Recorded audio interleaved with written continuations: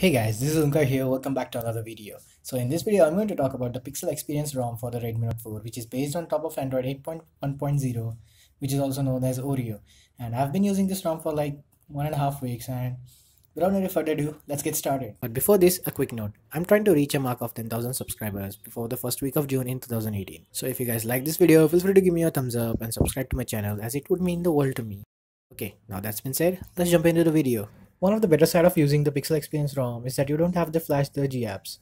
The GApps are pre-built in this ROM and the ROM itself gives us the feel of using a Pixel phone. Yes, you guessed it right. The Pixel Experience ROM does give us a fluid experience throughout the usage, but it lacks in the customization department. We don't have a dedicated customization section in the settings menu, which means that we have little to nothing option for customization. The only customization that we can do is by enabling the system UI tuner by pressing and holding the settings icon in the quick toggle panel.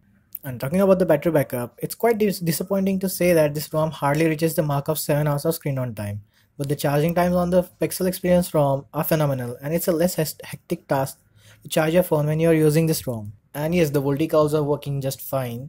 And even after the reboot, the VoLTE calls are not breaking and they work just normally. Well, these are my views on the Pixel Experience ROM. And if you guys want to flash this ROM, I would give a green signal as this ROM is rock stable and definitely good for using as a daily driver and performance wise this phone on this pixel experience rom just flies. It is really smooth to use and you'll feel the smoothness of this rom when you're using it. So if you guys want to flash this rom go ahead and flash this rom.